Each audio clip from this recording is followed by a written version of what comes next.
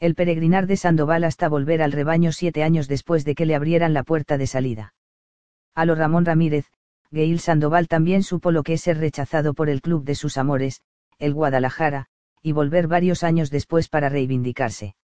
En este caso fueron siete los que debió esperar, ya que abandonó Verde Valle Triste en 2010. Pero qué mejor que lo cuente alguien que lo entrenó en las fuerzas básicas como Mario Arteaga. Es un caso especial el de Gail porque él llega a Chivas y no se queda a prueba. Después en su peregrinar regresa como refuerzo.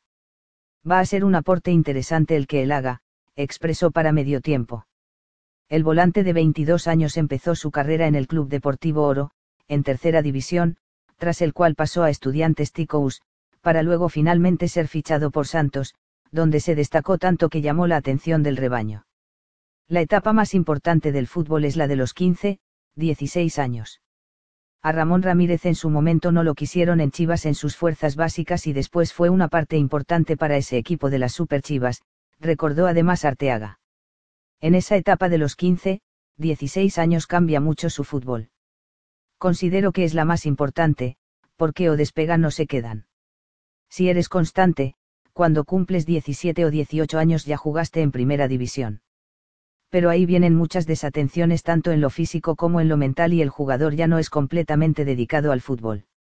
Esa es la etapa y en esa etapa fue cuando Gail fue a Chivas y así se le han ido muchos jugadores. A otros clubes les pasa lo mismo, añadió el timonel.